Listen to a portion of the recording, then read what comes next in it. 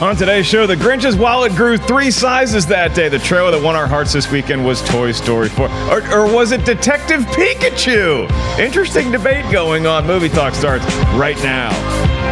Carter Movie Talk, first one of the week, presented by our friends at Movies Anywhere. Happy one year birthday to Movies Anywhere. You check out the app. More on that a little bit later in the show. But right now, I am just Mark Ellis. You don't need to worry about me. That is Jeff Sneider. Over there is Perri Nemiroff. And boy, do we have a lot of news to get to today. Everybody have good weekends, good long weekends, Veterans Day. Everybody's safe here in California. I spent the okay? weekend with a veteran. I went uh, to the Rams game with John Rocha. It was amazing. Oh yeah, yeah. I saw him wearing an LA Rams shirt at the Rams game, which is interesting because he claims to be a Redskins fan. So I'm not really sure how to feel about that. I am not allowed to comment on his your costumes. weekend. I was too busy watching the Eagles play this weekend because Zach Ertz crushed it. I love Perri Nemiroff and fantasy football version there of you are you. What are you third? I think In I'm third second place? now. I, thi- Second I place? think I just uh, topped Rocha this week. There you go. Well, Perri Nemiroff crushing it a lot harder than I am in fantasy football right now. Jeff Sneider wore a New England Patriots jersey to the Rams. Seemed like the right thing to do. Seemed like the right thing to do. Well, you guys have beaten both those teams in the Super Bowl in previous years. Well, we have a whole lot of news stories to get to. Like I said, we got some trailers, got the weekend box office, but we do kick off with the sad news of yesterday morning's passing of Stan Lee. The entertainment icon passed away at the age of 95 right here in Los Angeles, California. Stan Lee, uh, you, you want to talk about notable achievements. You want to talk about being an all-time great in a number of different fields, comic books, and then making his way into movies, and not just uh, pioneering so many different storylines, so many different comic book characters. The fact that he was able to take people's differences, what some people might consider, oh, is that a weakness? Is that a strength? What is that? He made everybody individual, and he made people feel special about themselves. And I'm not talking about the superheroes that he created. No, I'm talking about the people who were reading his books or who were seeing his movies. Made them feel special, and that maybe is the greatest legacy of all. Stan Lee, a number of fun cameos. I mean, he made a cameo in pretty much every movie. I think I have it on good record that we will see Mr. Lee pop up in a number of upcoming films as well. Perri Nemiroff, uh, it's never easy news to digest something like an all-time great like Stan Lee passing away. Your thoughts on the all-timer? It's definitely not easy news, but I will say that my heart felt kind of full scrolling through all the social media accounts, whether you're talking about, you know, let's say an actor who got involved in the MCU and basically had doors open wide open because of the characters that Stan Lee helped create, or just friends of mine who don't work in the industry at all, who met him at any random convention out there. His reach is just. I- knew it was astounding when he was around, but when you just get like a little glimpse into it, just through, scrolling through Instagram, I mean, it really is just mind blowing what he's done. And you know, even even to the extent that the shirt I'm wearing right now is from is from an Avengers uh, half marathon at Disney.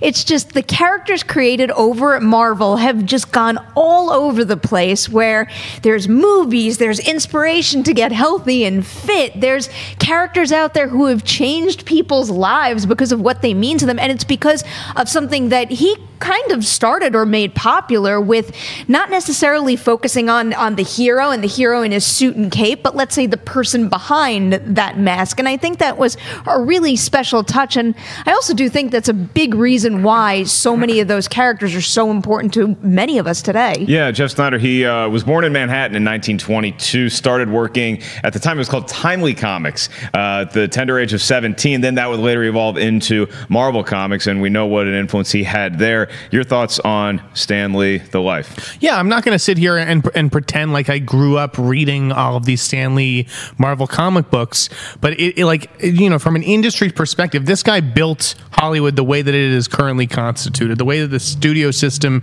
is set up. It, it is designed, you know, it's basically came right out of, his imagination, you know, with uni- uh, universes and characters crossing over and this interconnectedness. Um, and and you know, outside of the Marvel movies, which obviously Stan Lee had a, had a huge uh, influence in, you know, think about even you know something like The Crow. You know, would The Crow have existed if if Stan Lee wasn't writing comic books, inspiring a young James O'Barr to write comics or whatever it is? Um, you know, I think he really showed, you know, what one man's imagination can do, how it can change the world. And I really like what Seth Rogen said uh, yesterday. And, and this is getting, you know, Seth Rogen's not in any Marvel movies. He said, Thank you, Stan Lee, for making people who feel different realize they're special. And, and that was really Stan Lee's gift. The thing that, that you're self conscious about, uh, you know, the thing that you think makes you weird or different, that is actually what makes you special. And I think Stan Lee did a great job of capturing that in his comics. Yeah, Perri, you mentioned uh, you know strolling uh, through it, whether it's an Instagram feed or a Twitter, or Facebook, what have you. So many people were lucky enough to to take pictures, to get to spend some time with Stan Lee. Were you or Jeff either? Uh, were we all ever lucky enough to to meet him, to be in his presence? Uh, sadly, no. I've been in the audience when he spoke before, but I've never actually been able to go up and shake his hand and take a photo. I feel like I did uh, meet him and, and, and say hello at the Comic Con documentary premiere. Remember that uh, Comic Con documentary? Mm-hmm. um, but I, I never got like a photo or anything like that. Yeah, I was on an airplane with him one time. He was first class. I was not. He uh, he got off the plane and, and we were walking through LAX. And I, this doesn't end with me like coming up and us high fiving or anything. But I just remember seeing him and, and not wanting to bother him because a lot of other people were coming up and taking pictures with him. But I remember thinking like as much as I'm probably a social awkward person and not wanting to bother anybody, he had so many people just flooding him as soon as he got off the plane taking pictures. And he's you know at that time he was probably like 87, 88. But he just he took it all in good stride. Was just standing there all day taking pictures. There was no worried about a connection or a car to get. He, he was just happy to have fans and to, to take pictures with them. For anybody who hasn't done it yet, really go online and just browse through some of the fan pictures he had taken because, you know, I don't necessarily know exactly what was going through his mind in the moment, but every single picture to me screams, I am happy to be here with this person who really appreciates my work. And I could feel that actually looking through all of He- these. I feel like Stan Lee is a guy who, who like really epitomized like paying your dues in, in an industry. Like you know, it, he didn't. He wasn't an overnight success like a lot of people are these days, thanks to social media. Um, you know, he, he was a veteran. Like that was something that I didn't learn that came out. You know, on Monday, which was the day we observed Veterans Day. I mean, he was just uh, he was he was a great a great Jew. You know, a great Jew, right, Perri? uh, so yeah, we, we, we lost one of one, one of uh, our own. Um, and I think, but the, you know, the whole world is grieving. Uh, he, he was he belonged to everybody. You just think about the patience that that somebody like that needs to have because he created this incredible body of work in the field of comic books, and then knowing that this is going to work so well cinematically, but you just have to wait for for the industry, for movies, for the technology to get to the point where you're able to pull off all these fantastic images and storylines that you would see on the page. And so for him to not be until his 60s, 70s, 80s to really see the entire fruits of his labors from a film standpoint, it's just incredible that he still was able to have just such a cheery attitude knowing that all this was coming before anybody else did. and just thinking back to, you know, he wanted to be an actor. And ultimately, one of the things in the MCU that he became most well known for, something that I look forward to in all the MCU movies we see, is seeing him in his cameo. I mean, the creativity behind some of that and the fact that we've still got more because, you know, it's so sad that, that we've lost him. But this isn't a legacy that it's like we're not going to stop talking about away, yeah. Stan Lee.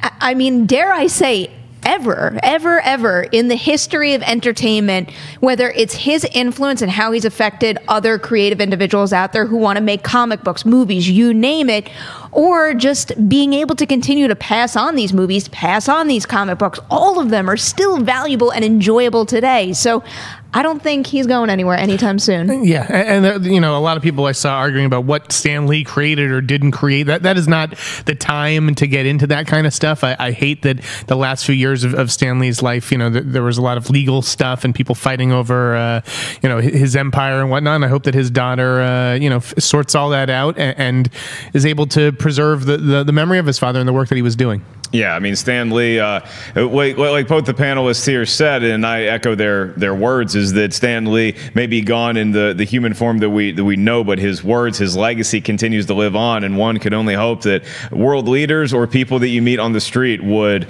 start to live by the words that he wrote for characters such as Spider-Man. With great power comes great responsibility. Excelsior indeed, Mr. Lee. Well, we move on to our next story, and that is the weekend that was at the box office. Marvel movies tend to dominate these days, but it was no Marvel movie this weekend because we don't have Marvel movie out in theaters right now. I don't believe Ant Man and the Wasp was the last one. So now let's get into the holiday spirit and let's talk about The Grinch, Dr. Seuss's The Grinch crushed at the box office to the tune of $67.6 million. Over the weekend, Bohemian Rhapsody coming in at number two, $31.2 million. At number three was the movie that seemed critically acclaimed and it got a gaggle of fans over, but maybe not as big as some people thought it could. And that's Overlord with $10.2 million. The Nutcracker and the Four Realms just on its heels at $10.1 million. And A Star is Born, the Oscar contender, rounding out the top five at $8.1 million.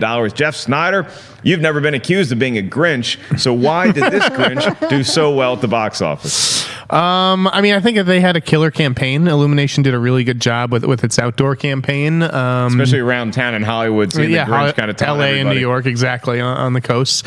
Uh, I mean, when, when, was the last big animated movie? Like, I, I, think it was, I guess it was Smallfoot, which you know performed that big. Right, exactly. It performed okay. So I think it, you know there was a, a built up uh, need and desire for animated stuff. You know, did Wreck It Ralph, uh, Ralph Breaks the Internet missed the boat on being the first big animated movie since really The Incredibles 2 to come out? Or do you think that there's plenty of room at the box office for both, given yeah, that it's going to be Thanksgiving It'd be the first big animated movie to hit theaters since I think it was Hotel Transylvania 3, maybe ah, in July. That was the last big, big one we had. But, you know, I don't necessarily think it missed the boat. I think, if anything, it's going to stop The Grinch short because we also have Ralph hitting theaters over Thanksgiving weekend, and that's going to bring in a boatload of money. And, you know, we were talking about it last time, I think. I actually don't think Fantastic Beasts 2 is going to hurt the Grinch all that much this weekend. I think it had a really, really great start, another winner for Illumination. And I actually do think that's going to continue through this weekend. I just think it's going to beat Fantastic Beasts. No, no, no. I don't think it's going to beat you don't it. Think it's going to beat it. Okay. I, I, think with a movie that big hitting theaters, you would think that The Grinch's profits would would drop pretty significantly. But I don't think that's going to be the case. I do wonder though if The Grinch would have been better served in December when it you know it was sort of had to take on Mary Poppins or something instead of Fantastic Beasts and then Wreck It Ralph right on top of each December other. December is so so crowded. Sure, it's, it, it's, it it's always too is crowded with blockbusters right now. L- l- listen, you're right. I mean, 67. This is a great opening for the Grinch. I don't think anybody is unhappy over there. Uh, Bohemian Rhapsody, a really good hold too. I mean, that's only a 39 percent drop.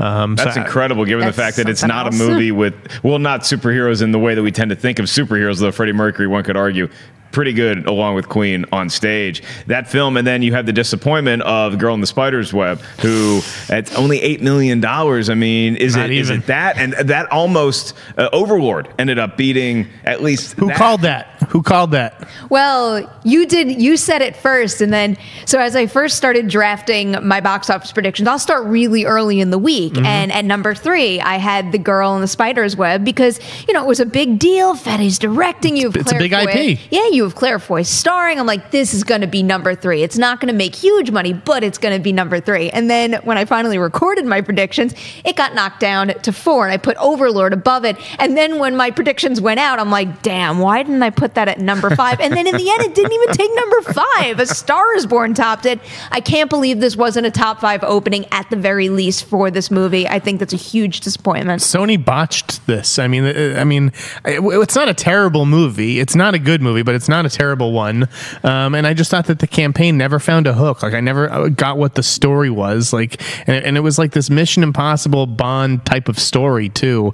Uh, so yeah, I, I, just think Sony left some money on the table. Maybe this wasn't the right release date. Maybe they should have come out with it a little bit earlier in October. I felt like the marketing uh, was as deep as the movie got, and so maybe it should have been more like Overlord, just telling you what the movie is, because it was pretty much just an action adventure that I enjoyed watching. But I think people were thinking maybe this is going to be too dark or twisted like a David Fincher version or like the Swedish versions were. And that and Overlord, it's kind of hard to tell the difference from a certain point of view because it's just a whole lot of action going on. I'm a little sad that Overlord wound up with that B CinemaScore because usually that's a sign of uh, not so long legs, but I finally caught it this weekend. It is so, that movie is crazy in the best possible ways. I was so, so impressed that, that what they were basically able to do with, you know, it's not like they had an itty bitty budget, but it wasn't this gigantic production and just some of the, some of like the gore and the makeup effects were, I, I guess, some of the best I've seen all year. I really want to see it. I tried to see it this weekend, and then uh, yeah, Google Showtimes were steered me wrong. Yeah, the uh, the Rams Seahawks game happened, mm. and it was mm-hmm. a pretty good game. So check out Overlord, though. We think both Pear and I think that you will Mm. like it. So uh, movie that we all think we're going to like because we've loved the first three. That is Toy Story 4. We had the first teaser trailer for it debut over the weekend. Interesting timing because we got both that and Detective Pikachu, which we'll talk about a little bit later in the show. But Toy Story 4, that's, as Jeff Sneider would say, the IP. That's the headline, the big grabber. And there's not a whole lot to this teaser trailer. I mean, it's basically Buzz and Woody just making a cameo uh, at the end, but it was a fun trailer and it got me swept back up in Toy Story. Perri, I still don't know if we need this movie, but I'm pretty sure even if it's not great or lives up to the Rotten Tomato score of the first three, it's going to make us feel good. At this point, if you said we needed a Toy Story 4, I would be a little concerned We for your expectations going into it. It's it's just tough. They set such a hard uh, hard by. I did a spoonerism today. Uh, we were doing it because I was with Nana this Yeah. weekend, and it's like a family joke. Hi, so Nana. we were doing it. Now I've got it stuck in my Big head. fan but of Nana. they set the bar so high with one, two, and three that you know you look at something like this and, and you say to yourself please let this live up to the hopes that those movies have set. And there was nothing about this teaser trailer that really you know confirmed that it's got a good shot of doing that to me. I was excited to see it. I love these characters. So to see them back in a piece of promo material was a lot of fun. But i didn't turn that teaser off saying oh they got this this time. They deserve to make a fourth. But then we got the thing with Key and Peele's character. Uh, Ducky and Bunny, that respectively. yeah. changed everything. I watched that clip with a big grin on my face, and that made me think to myself, oh, there really is more to explore with these characters in this kind of scenario. Yeah, there's going to be, if that little piece of promotional material is any factor in this, Jeff Sneider, there's going to be a lot new to introduce with Toy Story 4. Is there any way that it can live up to the first three critically, box office, audience, any of it? I mean, yes. Uh, the, the the Toy Story trilogy is incredible. It really is, and I and I think after because Toy Story to me is the greatest animated movie ever, and those The sequ- first one, yeah, the first one, the first one is my favorite. A lot of people think you know Toy Story three, and some people even think Toy Story two is the best one. Um, but I, I'm always partial to the original. But you know the sequels did live up to it. You know they were worthy of that Toy Story name. So I have no reason to think that Toy Story four won't do the same. Like you know, um, with most franchises, I'd be inclined to think there'd be some slippage or you know something like that by the fourth installment. But Toy Story three was so good. Who am I to to you know doubt them? Um, well, you're not wrong to uh, say, well, this could be the next Toy Story movie that is as good as the first three. The movie's going to hit theaters in 2019. I believe it's in the summertime. Let's check that June 21st, 2019 for Toy Story 4. I'm not going to get Perri Nemiroff's box office prediction for that movie. Thank Just you. yeah. Thank you for letting me off the hook. I, I love I love the teaser. I thought it was a great teaser. I like Okay. I like that it was set to J- J- Joni Mitchell song. Both Mm-hmm. sides now.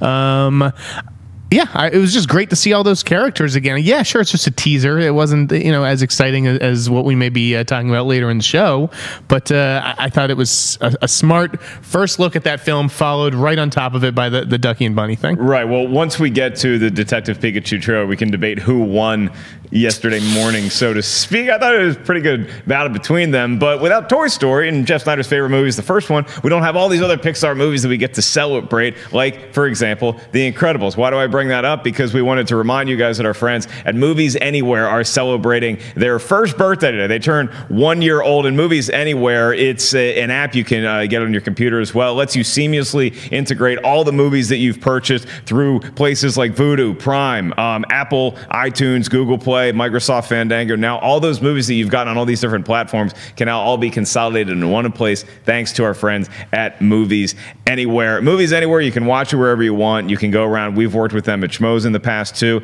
Great people, great company. Brought us donuts one day. And so we wanted to talk about some of our movie firsts in honor of their first birthday. And I'll kick off with The Incredibles. That was the first date movie that I went to out here in Los Angeles. Movie came out, went 2000, when was it? Four? And it was the, it was 2004 and it was around Thanksgiving. And my date wanted to go because she wanted to go see The Incredibles. She thought it was like a cute movie. And I wanted to go see it because it had the episode three Revenge of the Sith trailer Mm-hmm. Attached to it. And back then, you couldn't really go online to see movie trailers like you can now, so you had to go. So we went Thursday, first showing, and enjoyed The Incredibles. Another one of my movie first, and all these movies that we're talking about available right now on Movies Anywhere is The Waterboy. That was the first movie that I saw in college. A bunch of us, you know, you, you get to know everybody in college, and you, you want to know what, everybody's sense of humor is. If you get a bunch of college dudes around, they're probably going to love an Adam Sandler movie, especially one back in the day like The Waterboy. Bobby Boucher, Kathy Bates in there, a lot of great cameos. Henry Winkler is the befuddled coach. The Waterboy, I haven't seen it in a long time. You can catch on movies anywhere. I'm not sure if it still holds up, but that movie really crushed us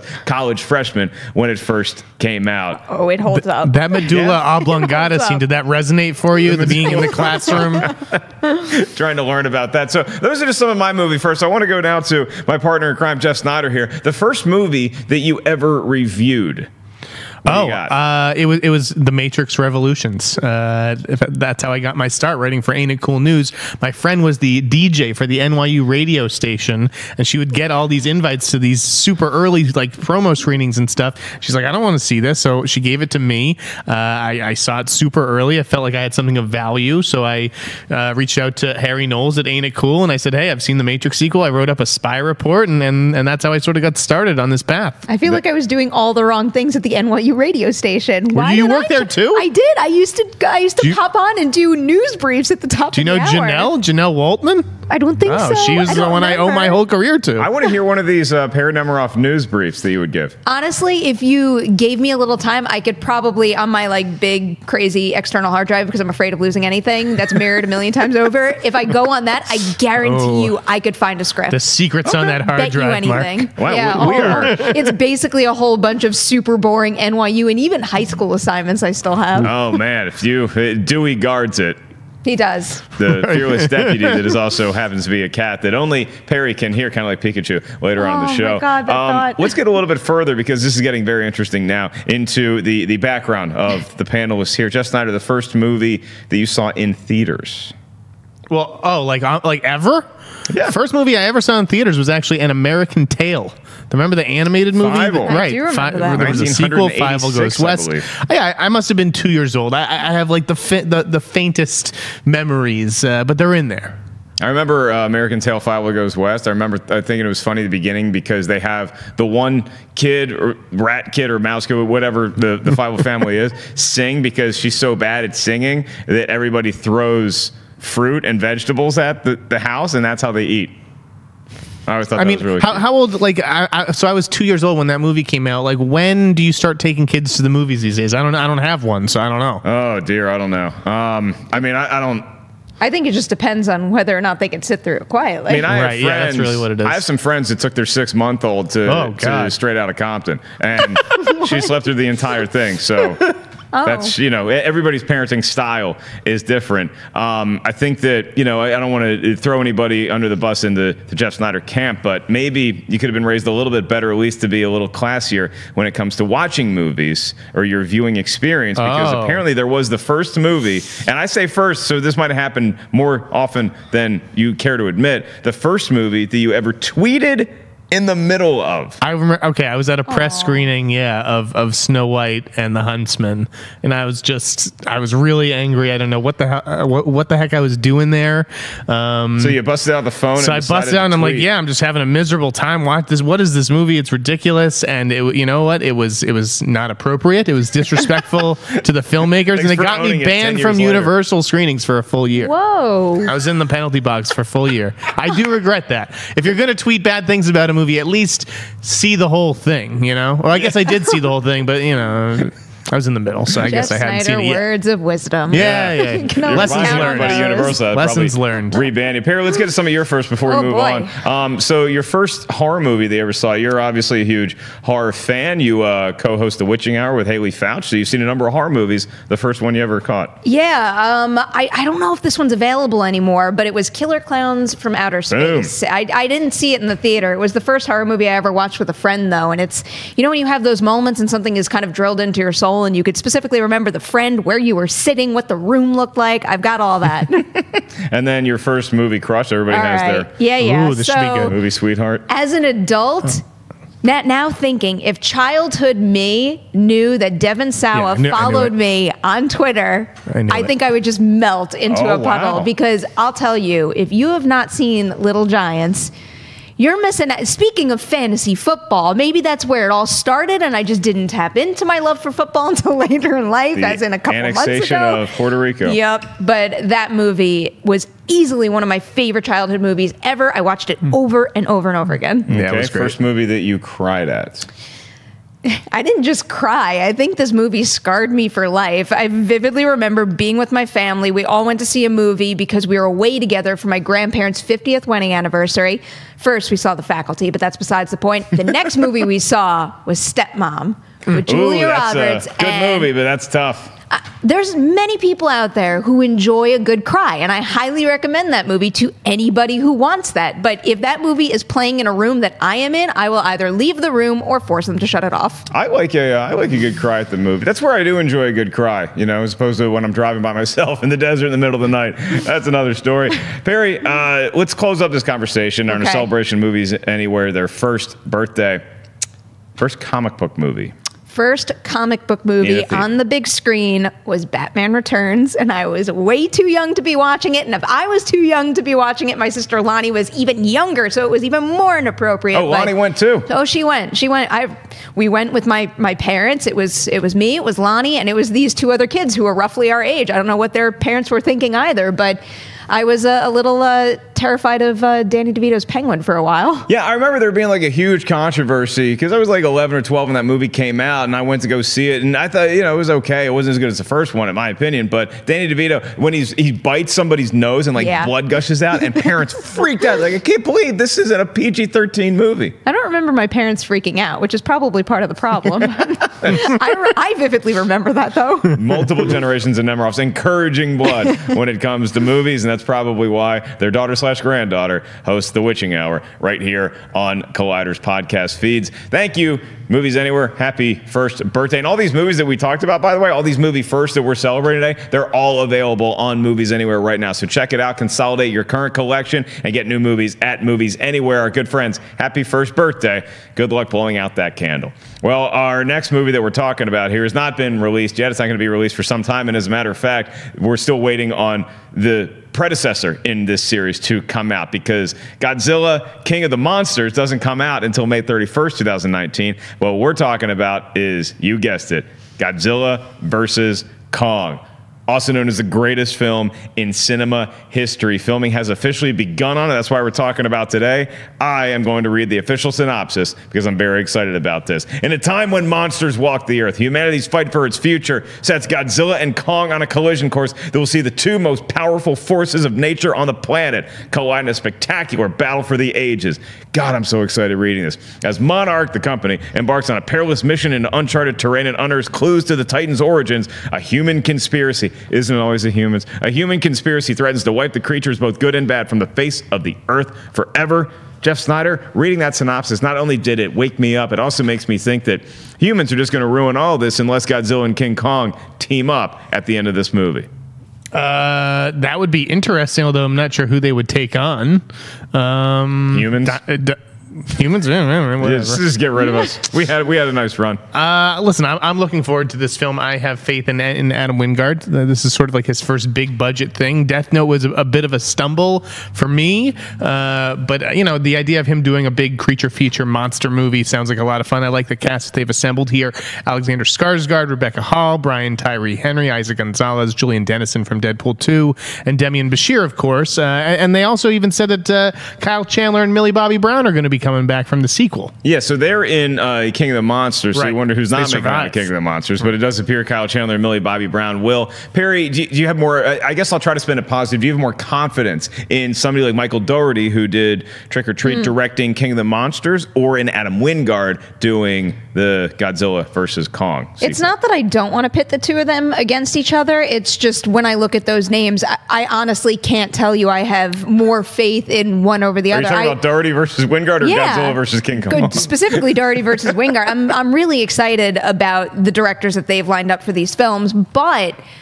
I can't say I, I'm I'm excited. I'm looking forward to seeing what they could do. This franchise hasn't really hooked me though. No. And that's even coming out of both Godzilla and Kong Skull Island saying, that's pretty good. But, but not not just loving it, not hating it by any means. But this is just a cinematic universe that's continuing to build that isn't really pulling me in. And I think it was even more evident when I first read that synopsis. And I'm like, oh, you know, it kind of sounds like monster movies that I've seen before. This is pretty much what I would guess, especially when you say, oh, you know, evil humans are going to jump in and ruin their plan. It's like, I could have guessed that was going to happen. So I think I need to wait a little bit and see some sort of, uh, I don't know, something pop from one of these one of these two that really gets me or, or digs the hooks in because it, right at this point in time, it's far down my cinematic universe hype list, if there's such thing. Well, Jeff, maybe putting the, the hype aside here, do you, uh, let's spin it the other way, do you have pause or hesitation after the synopsis for Godzilla versus Kong that I, I read? the, the synopsis is is five lines long, but really the synopsis is in the title. It's Godzilla versus Kong. Yeah. Like that's all we really need to know. Um, I think that out of these four directors, though, uh, Gareth Edwards, Jordan Vogt Roberts, uh, and then Dor- and Dougherty, I th- I th- Wingard is the one who does excite me the most. Um, so I- I'm I'm eager to see what he comes up with, and of course, he's not just working with one or the other. He's got both of them this time around. So really, how can it go wrong? Uh, well, it can go wrong if Godzilla King of the Monsters doesn't get off to the great foot. But even that, I like. I, I was with Perri. I, I like Kong Skull Island. Okay, I, I thought it showed a potential, certainly with the character of Kong, if not the human characters as much. But maybe the best uh, reason to get excited for Godzilla King of the Monsters and by proxy Godzilla versus Kong isn't any of the other movies we've gotten. Although I do love that first Godzilla movie, it's the trailer that they showed at Comic Con for Godzilla King of the Monsters. Does that get either one of y'all out of bed? I did like that trailer a lot, but it couldn't compare to the promo material we got from Kong Skull Island. That had some really unique flavor to it, whereas the trailer from uh, from uh, the new Godzilla movie was, I mean, it's pretty much what you just said, with the title of this movie basically spelling it out. It's Godzilla versus Kong. With that one, th- the whole idea or the draw to it is, oh, it's Godzilla, and we're adding these monsters that we teased at the end of uh, of the Kong movie. So there was some inherent excitement in seeing that come to the screen, but I do miss the flavor and texture that I saw in the other trailers. All I want out of this movie is a romance between Millie Bobby Brown and Julian Dennison from Deadpool 2.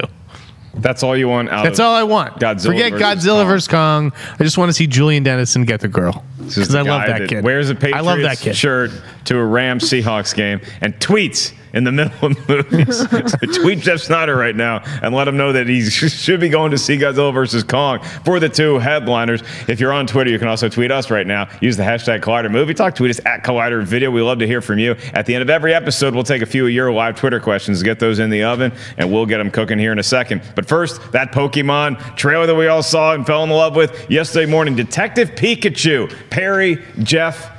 What's going to be under the tree this holiday season? Is it going to be a little stuffed Pikachu? This is the most wonderful example of a brilliant trailer that completely changed how I felt about this particular project.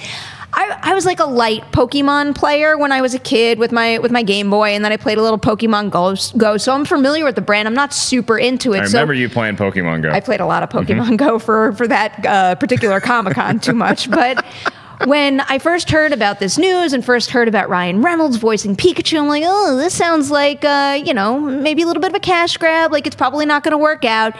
This trailer was so delightful, and I'm not just talking about, you know, the the relationship between uh, Pikachu and Justice Smith's character. I'm talking about the whole world. Where I was into the story, I liked that, but then that world that they built, it, it reminds me of when I first picked up my very first Pokemon game, and it's got that you know, where it breaks down the barriers of oh, like if I lived in this world, I could have a cute little uh, Pokemon like that. That's the feeling that it gave me. And as the trailer continued on, and I could see so many that I recognized, I started to get more and more excited until the point that it was over, and I was sad that it was over. Yeah, I mean, I, I remember when this movie got announced. We were talking about it on that day's episode of Movie Talk, and Jeff, it w- it just seemed like how do you get more than surface level with this thing? And then I had a lot of fans write me and say, no, there's a whole mythology and world built around Pokemon, and this trailer proves it. They really got deep into that world building that I think the fans would hope. So, is that the most surprising aspect of the trailer to you? Is it is it Detective Pikachu being able to communicate with Justice Smith? What do you got? Yeah, I, I it kind of had like a Blade Runner vibe for me at the beginning. Um, I this was the kind of movie Perri kind of took the words right out of my mouth. This was the kind of movie I was totally prepared to ignore, and after a trailer trailer like that, I don't know that I can ignore it anymore. It really did, you know, make me uh, flip flop here. I don't know that I'm definitely gonna see it, but now I'm at least interested. Like I thought the trailer was really good. Justice Smith looks like a lot of fun. The the trailer was kind of giving off a Bumblebee vibe. Maybe it's the yellowness of, of Bumblebee and, and uh, Detective Pikachu, um, or just the way that Justice Smith sort of stumbles upon him and, and meets him. But uh, I thought it was really cute. It gets a little silly towards the end with all the different creatures and monsters. It kind of looks like something that I'd, I'd seen like a Power Rangers movie. No, no, no, disres- go there. no disrespect, Perri. um, but no, it, it, it did do its job, which is to get me interested and excited, uh, you know, f- for this movie, at least more so than I was before. Okay, good. So everybody's seeing Detective Pikachu and Toy Story 4. Which one won the internet? I knew Twitter? you were going to go there. People were debating about it. Detective Pikachu did. Did you see the thing that I tweeted out with like the that graphic where the guy's like holding hands with Toy Story 4, but he's looking at Detective Pikachu? Like that was Oh, a that brilliant one. film Twitter thing. I wish I could come up with funny memes like that, but I can't. That's but why I- Jeff is the most important man to follow. It really, it really did n- nail the the sentiment I felt like of film Twitter, which was prepared to write this movie off and now can't. Perri? I, I think I have to give the credit to I can't believe I'm saying this, Yeah. but to Detective Pikachu. I am I'm really truly shocked right now about how excited I am. Part of it was the song, movie. honestly, because I, I my my first thing, speaking of first, my first concert that I ever went to was a Turtles concert. The Turtles, so Oh, ha- yeah. happy together. That's them, and I think it fits great over this trailer. Okay, but the first thought, movie thought that you have when you think of happy together, so happy together is Uh oh. Some sort of comedy. It's a comedy from like the forgetting. 80s or 90s. yeah. No, I was mistaken. I was thinking Herman's Hermits. That's from Naked Gun. So never mind. We can make a Detective Pikachu. Just had to reconfigure the old brain there. All right. Well, we are going to move on to your live Twitter questions. But before we do that, I do want to remind you about some of the other cool stuff we have around these Collider studios. If you have not seen the For Your Consideration episode, they had guest Adam Driver in studio. Perri, Adam Driver here. so cool. On this desk. Pretty cool, right? It was no, it was really exciting too, just because we're we're first getting into the phase of FYC where we're bringing in guests, we're bringing in real contenders who have a shot of scoring Oscar nominations, if not wins, uh, early next year. And it was really special to have him in. I'm a big fan of his performance in that movie. And uh, tomorrow on Collider, you can check out an all new Collider Heroes, all new Collider Live. Um, they had Ron Perlman on that show today, by the way. And I was lucky enough to guest on Collider Sports Time, hosted by John Rocha and Matt Nose. Me and Josh Macuga talked about the Redskins, the uh, Steelers, all that good stuff. Le'Veon Bell, not reporting. Check that out whenever you get a chance. And now we move on to live Twitter questions, and I put it out there just in my in my my, my wish of wishes, my hope of hopes that somebody on Twitter would come up with the question that Satendra Banerjee, always reliable, did. Said, "What's your favorite Stan Lee cameo?" Huh? Favorite Stan Lee. I'm going to say it before Perri does. Uh, Mallrats. Ah, there Mallrats is Mallrats. clearly the best cameo. Yeah, it's not like a not the funny people little oh look it there's Stan Lee like in the MCU, but this is Stan playing himself, actually dispensing real wisdom and life advice to Brody, uh, played by Jason Lee, and yeah, I just love uh, the way that Kevin Smith brings him into this movie. This might have something to do with what the line meant to me, but which Spider-Man movie is the one where he walks up to him and he says, uh, "One man can make a difference"? Ooh, I It's- believe it's that- it's that one or one. two. It's the other Yeah. one, maybe the one with. Nickelback. I wasn't 100% sure, but but that's a that's a, a pretty special line of dialogue to consider. Yeah. Okay. Well, I'll just go with the easy one. Say when he played Hef, he's he's credited as, as himself in Iron Man, but we know he was playing. He calls him Hef. It's funny, but he's great. I mean, all the cameos. It's like it's just fun being in a theater, especially like a packed Marvel theater opening weekend. Mm-hmm. And then whenever the Stan Lee cameo pops up, because it's not anything you go into the movie thinking like you're like, are our heroes going to make it out? Who are they going to battle? There's going to be great fight scenes, and you always forget until it actually happens that Stan Lee's going to make a cameo. I also like the one that he did in the Incredible Hulk, an underrated MCU movie, because he's the guy that like drinks the super strong Yeah, soda yeah. that just knocks him on his sock. The so. Big Hero 6 one is fun too because that caught me by surprise. Right. For for whatever reason I just you know, I knew it was a Marvel a Marvel cameo? thing, but um I think he is in it's like a mansion scene and there's portrait pictures and one of them is him in the background. Cool. It was just such a nice surprise. All right, next up is uh, Joe Jermalowitz, and he says, "Hey, Collider, I saw Free Solo documentary this weekend, and he thinks it's one of the best movies of the year with 99% on Rotten Tomatoes. Why is this movie not being talked about for awards consideration?" Funny thing, we were just talking about watching it Yeah. because I'm pretty sure we're actually both planning on watching it before a I almost went to go see it yesterday. Um, it just got to, like you know I ended up working unexpectedly yesterday because that's just the way the news broke, and uh, you know had to do an interview. But I did, Free Solo is at the top of my list of films to see that are currently in theaters, and I want to see it on the big screen. It's one of the ones at the top of my list, but another one that was up there was a documentary called Shirkers, which I would highly recommend checking out. I believe it's actually a Netflix one, but um, Shirkers. You know, it's an, uh, an if you have any interest in the- Shirking. Not not that. If you have It's any fresh. if you have any interest in what it takes to make a movie, especially your first movie when you've got nothing to work with, it, it focuses a lot on that and it's got a, a mystery quality to it that really sucked me in. So check it out if you have the chance. Okay, well, Dale White, I want to make Dale White feel better. He says, I don't understand your reservations about Toy Story 4. Who said Toy Story is meant to be a trilogy? Why can't the story continue, especially if the studio feels they have a good story to tell? I agree with you, Dale, but it did feel like the trilogy closed itself pretty well, and then you wonder, wait, is this just a cash grab or this? And then the following up, I'm not worried about it following on the story. I'm sure they have a fine story, but it's also like, can it be as good as the first three movies? That's the question because I think you can agree with me, Dale. Nobody wants a Kingdom of the Crystal Skull hmm. situation. We want all four Toy Story movies to be great. Judging by early returns, I think this one's going to be just fine. I got a whole lot of faith, but that's the way the industry works. Whenever you have like XYZ good installment, the next one is always gonna, I don't know, make you a little nervous. Okay, well, Brian Knight is next up and last and says, in the light of the passing of Stan Lee and his impact on the world, says what writer, filmmaker, comedian, etc., in the field of entertainment, I imagine, had the biggest impact on your life? Who do you got? Can I go with a tie? You can certainly go with a tie. Okay, I think I'm going to give that honor to Steven Spielberg and Wes Craven.